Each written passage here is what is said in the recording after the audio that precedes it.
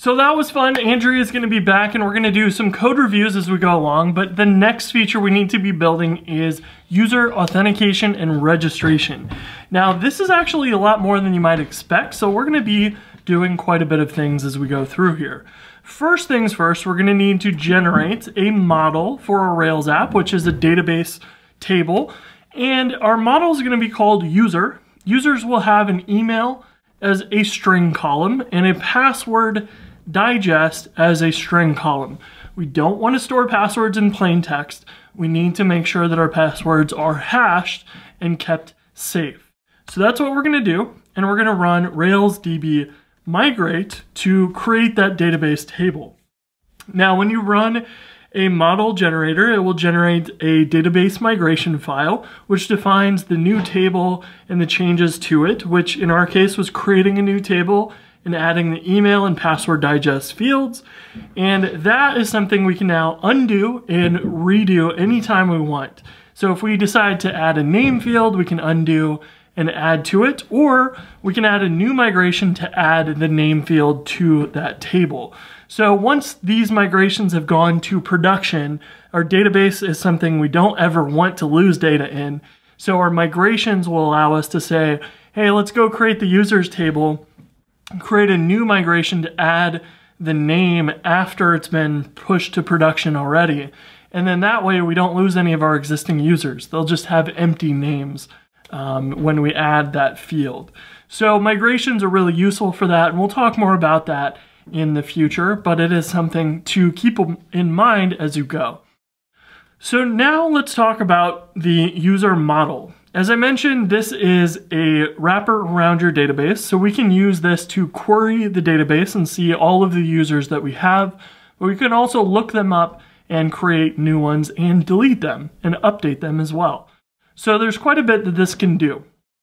But Generally, there are two levels to your database models. You have the querying of the table and interacting with all of the users, and then we have an instance of a user, which is a single row in your database. And so this is kind of a template for all of your users and how to interact with them. So what we want to do here is we want to add the has secure password method from Rails. This is going to use that password digest feature or column in our database. And it's going to add a password and a password confirmation to our user.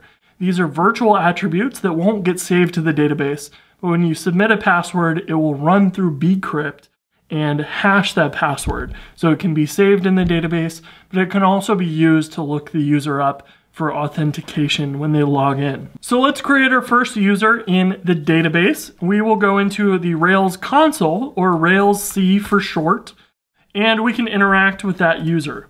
If we say user right now, it's going to give us an error saying that we don't have bcrypt installed. So in order to add bcrypt, we can go to our gem file and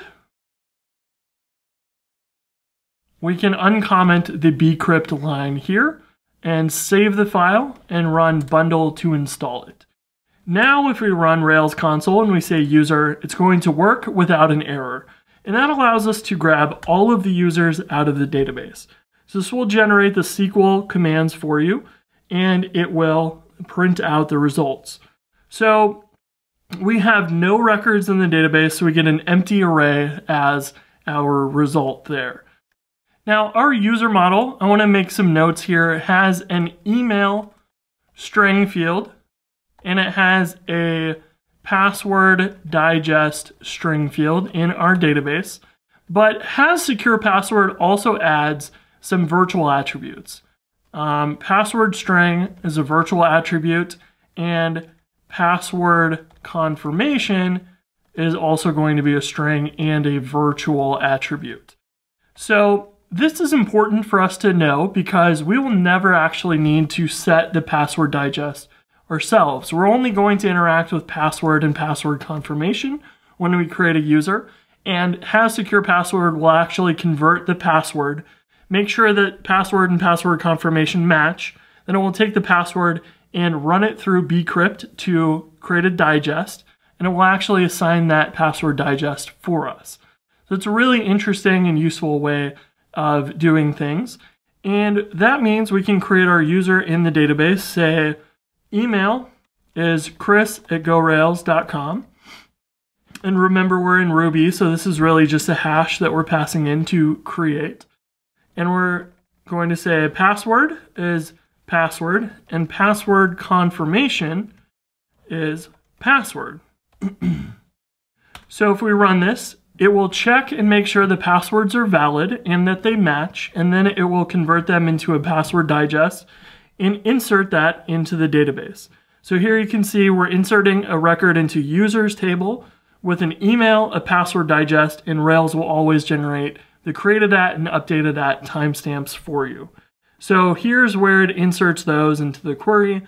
Email is chris at gorails.com. Uh, password digest is this digest that we see here.